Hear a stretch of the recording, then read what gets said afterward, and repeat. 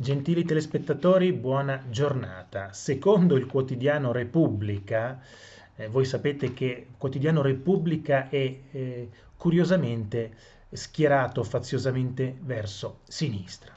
Secondo il quotidiano Repubblica, che ha commissionato dei sondaggi anche sulle sardine, secondo loro un elettore su quattro voterebbe per Mattia Santori e le sardine racconta appunto una rilevazione fatta dalla Repubblica dall'Istituto Demos di Ilvo Diamanti.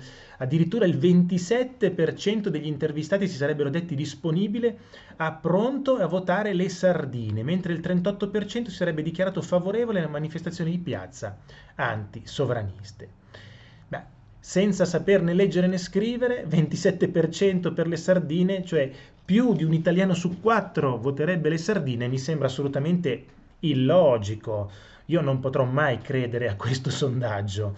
Cioè le sardine avrebbero più voti del, del PD, avrebbero quasi i voti del, eh, di, di, Matteo Salvini. Mi sembra, mi sembra curioso questo sondaggio. Io personalmente non ci credo. Io capisco, attenzione, io capisco che il cliente ha sempre ragione.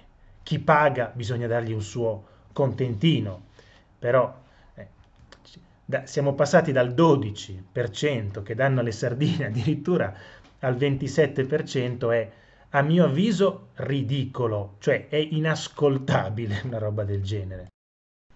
Però secondo Alessandra Ghisleri, presidente di Euromedia Research, il Movimento 5 Stelle non va oltre il, cioè, scusate, eh, il movimento di piazza delle sardine non va oltre il 5%, a volte dei lapsus freudiani no?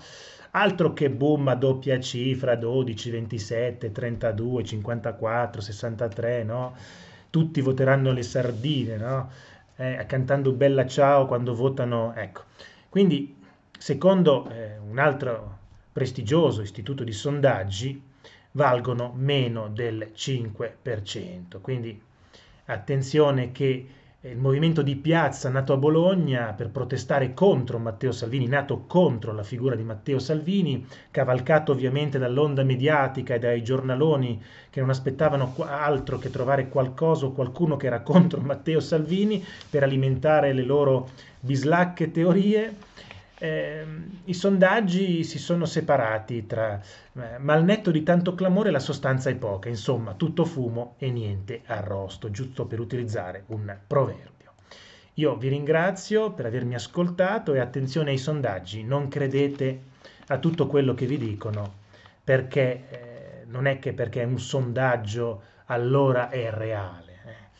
Ricordatevi il detto il cliente ha sempre ragione, quello che paga bisogna sempre accontentarlo.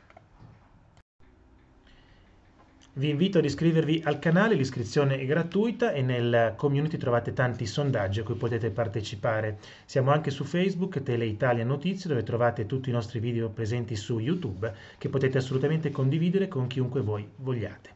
Grazie per avermi ascoltato e buona giornata.